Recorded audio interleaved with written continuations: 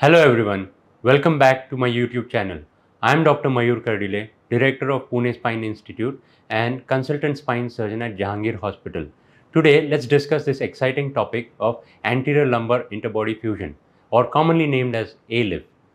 Let's know what exactly it is, what kind of procedure it is and who are the patients who need this kind of a surgery and what to expect out of the surgery. This surgery is a completely different perspective to spine wherein uh, we actually operate through the belly or through the abdomen. And so it's going to be something new and exciting. And for regular spine health related updates, please don't forget to subscribe to my channel and click the bell icon.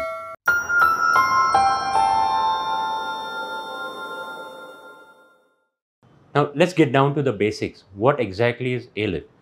You all must have commonly heard about spine surgery being done from the back, wherein the incision is at the back side of your spine but have you ever heard that spine surgery can also be done through the belly? Now, in ALIF, in this surgical approach, what we do is we take an incision right down into the abdomen and from there we reach out to the spine. Now, this sounds outrageous, right? That going through the abdominal organs and then reaching the spine. But no, that's exactly the myth.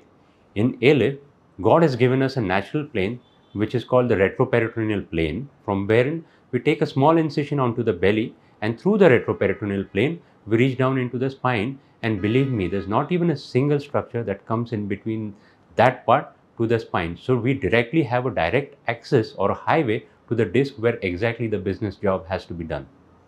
So you must be curious to know who are the patients who need ALIF so ALIF is used to treat a variety of spinal conditions like uh, spinal instability spondylolisthesis or in patients who need multiple level lumbar fusions, so wherein they have either two or three level lumbar fusions.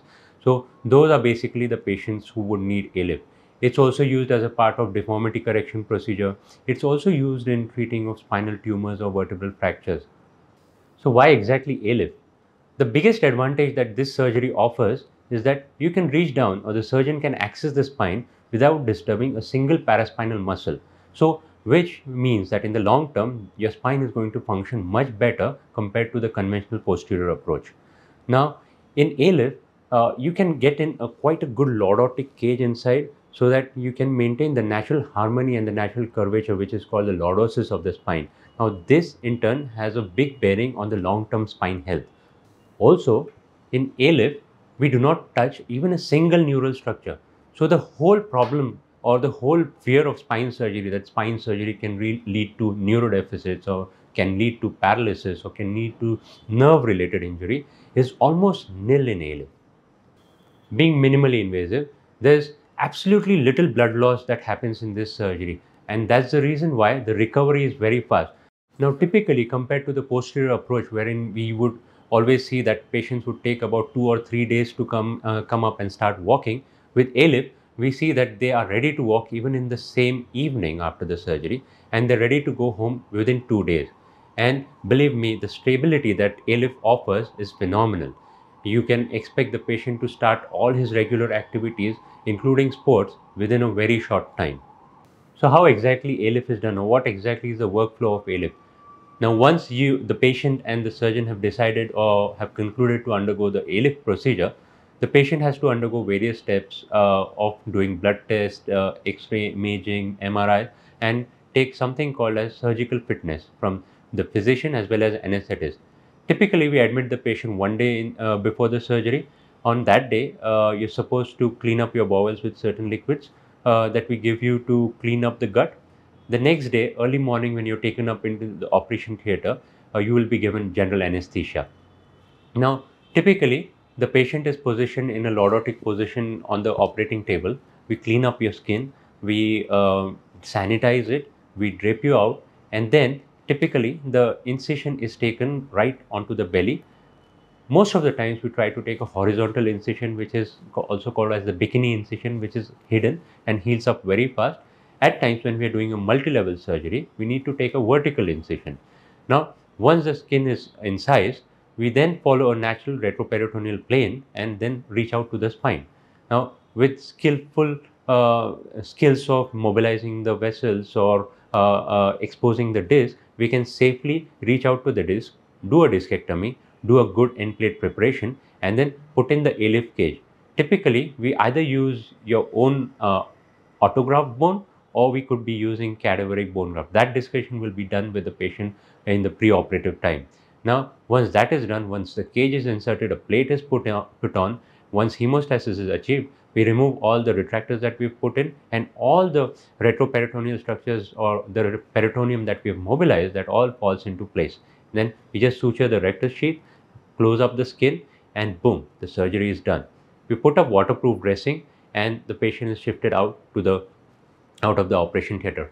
At times, patients undergoing ALIF may need additional posterior pedicle screw fixation which can be done in the same sitting itself. So, what to expect in the post-operative period? Now, early on once the surgery is done and the patient is shifted to the room and once the anesthesia recovers, our physiotherapist and the team of doctors will be visiting you and asking you to start moving your limbs, asking you to start sitting up and in the same evening, our physiotherapy team will be coming in and helping you to stand up and walk again. Believe me, patients are surprised that if they can really walk up onto the same day of the surgery, and that really happens. Now, once you gain up that confidence, start walking around, you rest up in the same evening. The next morning, as your bowel sounds pick up, as you start passing gases, we can start giving you your solid diet. Within a day or two after that, once you're comfortable mobilizing by yourself, going down to the washroom and your pain is under control, you can go back home. Once you go home, you'll be prescribed certain tablets to keep your pain levels under control and help you recover generally.